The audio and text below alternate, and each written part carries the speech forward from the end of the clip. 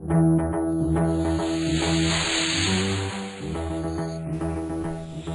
everyone, it's Mrs. D with another two-minute tutorial.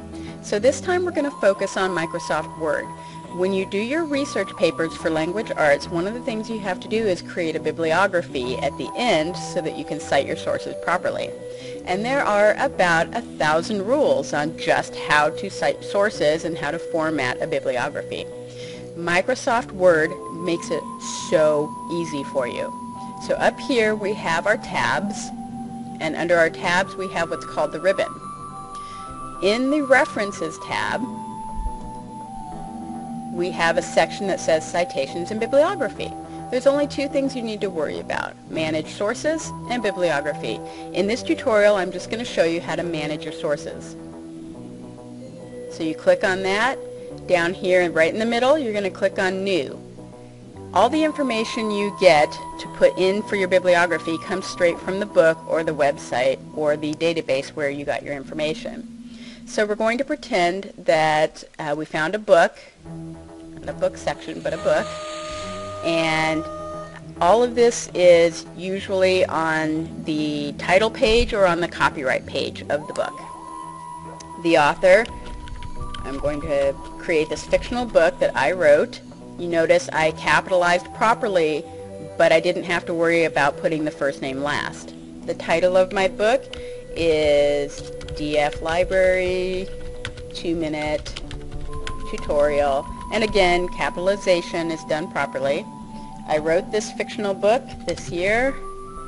Um, it was published in Phoenix, where our school is. The publisher is our school, Desert Foothills. Now the medium is going to be either print or web. And if it's print, it means it's something you can hold in your hand, a book you held in your hand, a, a, journal or a newspaper or a magazine that you actually held in your hand.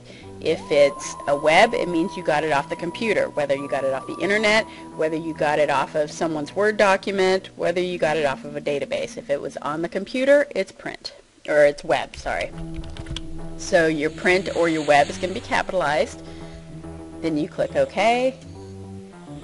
And now we have um, the book in our current list. It also shows up in our master list. And if I wanted to create a new one, and let's say this time I went to a website. Now websites, you want to show all bibliography fields because that's the only way you'd be able to find the field for the URL that you need to put in. Authors, you're generally not going to have on a website. Anything, any information that you're supposed to have but you don't, you leave it blank. The name of the web page, let's say I found a web page about Abraham Lincoln. And the website, that would be the overarching organization that put the web page together. In this case, it was Discovery Channel. The year, you're going to be lucky to find a year on um, a web page, you'll probably never find a month or a day. The year, month, and day accessed, that's simply the day that you went on the computer and found the information. So if I went today and found that website, it would be year 2013, month is January, and today is the 23rd, although that's not necessarily when you're going to be watching the tutorial. The URL is the entire URL. Best thing to do would be copy and paste the information from the address bar in the internet.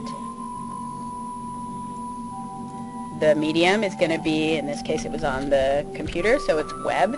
We click OK, and there is our second um, source. However many sources we do, it'll take care of it for us and I am already over four minutes just showing you how to do this, so I will show you how to create the bibliography in another tutorial.